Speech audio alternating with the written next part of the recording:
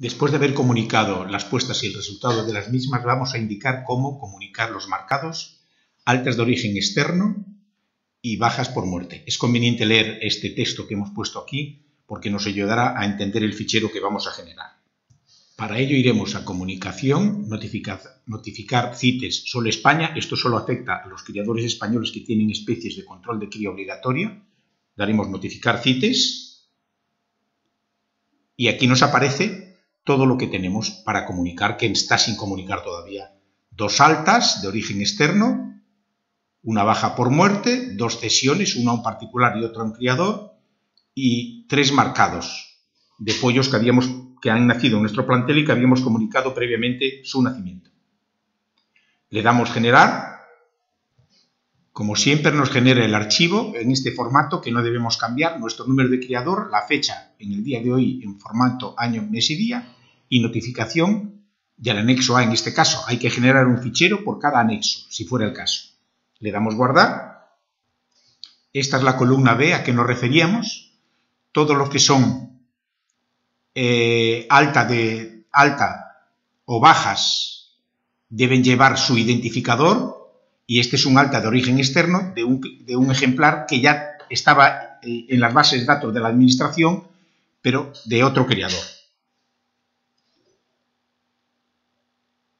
Aquí aparece el, género, la especie, subespecie, el apéndice, el anexo, los documentos CITES, todo esto lo va rellenando automáticamente la, herramienta y aquí aparecen los documentos que amparan la tenencia de esos dos ejemplares que damos de alta de origen externo.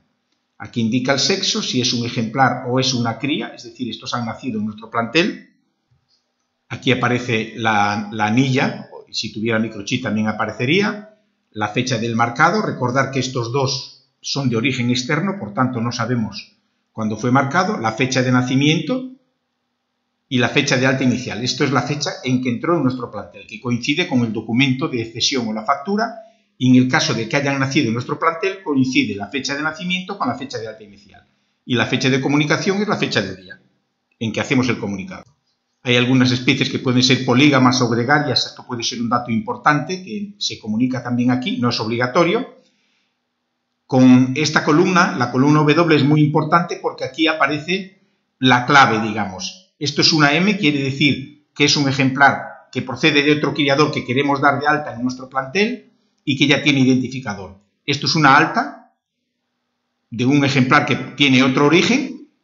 Esto es una baja por muerte, aquí que indicamos aquí, la fecha de la muerte.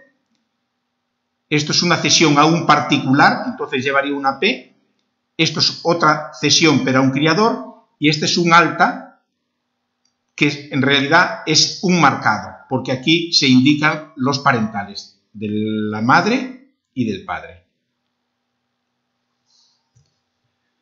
Aquí se indica la fecha de la cesión, como vemos aquí hay dos cesiones. Este es el identificador, el número de registro del otro criador a donde va destinado, ¿eh? uno de los ejemplares que hemos cedido, Aquí aparecería el nombre del criador y aquí aparecería el nombre del particular. Aquí debería poner particular. Enviamos este archivo y además los, una copia de los documentos que se han generado en otra carpeta, que son estos mismos que tenemos aquí.